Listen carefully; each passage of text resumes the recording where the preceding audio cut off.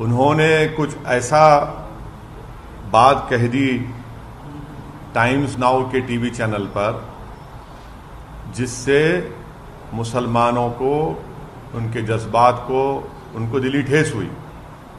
दस दिन के बाद कैसे ख्याल है प्रधानमंत्री को? जबकि हर प्राइम टाइम शो लोग बोलते हैं, प्रधानमंत्री खुद बैठकर देखते हैं। तो 10 दिन के बाद बीजेपी रिएक्ट करती है, और कब रिएक्ट करती है? जब देश के वाइस प्रेसिडेंट खतर को पहुँच रहे हैं तो प्लेन में उन, जो प्लेन में होते हैं तो उनसे कहा जाता है कि आपका जो बैंकुएट था, वो कैंसिल कर दिया गया है। तो जब देश के वाइस प्रेसिडेंट खतर में होते हैं, खतर की सरकार हमारे देश के एम्बेसडर को बुलाकर उनसे कहती है कि आप माफ़ी चाहें क्योंकि बीजेपी के एक स्पोक्स पर्सन ने प्रॉफिट मोहम्मद सल्लल्लाहु अलैहि वसल्लम की शान में बकवास बकी है, झूठ बका है।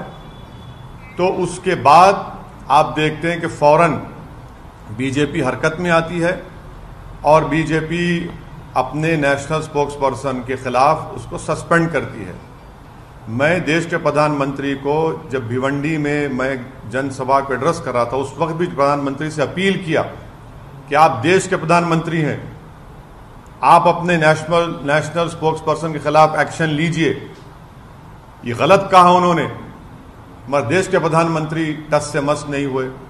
और 10 दिन के बाद, क्योंकि गल्फ कंट्रीज़ में ये मसला बहुत बड़ा हो चुका था, इसलिए हालत मजबूरी में देश के प्रधानमंत्री ने अपने नेशनल स्पोक्स पर्सन के खिलाफ एक्शन लिया।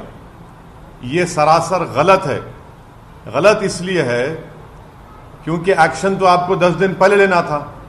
जब मैं बहसीत एक भारत के इंडियन सिटीजन के, मेरा मज़हब मुसलमान, मैं मुसलमान हूँ।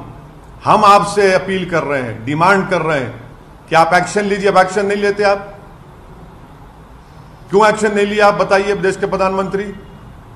क्या सदुद्दीन ओवैसी का डिमांड क्या सदुद्दीन ओवैसी की आवाज़ फॉरेन कंट्री के लीडर से कम है क्या? आप मेरे प्रधानमंत्री हैं, आपको मेरी बात सुननी चाहिए। आप फॉरेन कंट्रीज़ के लीडर्स को खुश करना चाहते हैं। आप उनकी उनकी तकलीफ़ को समझते, हमारी तकलीफ़ को नहीं समझते आप।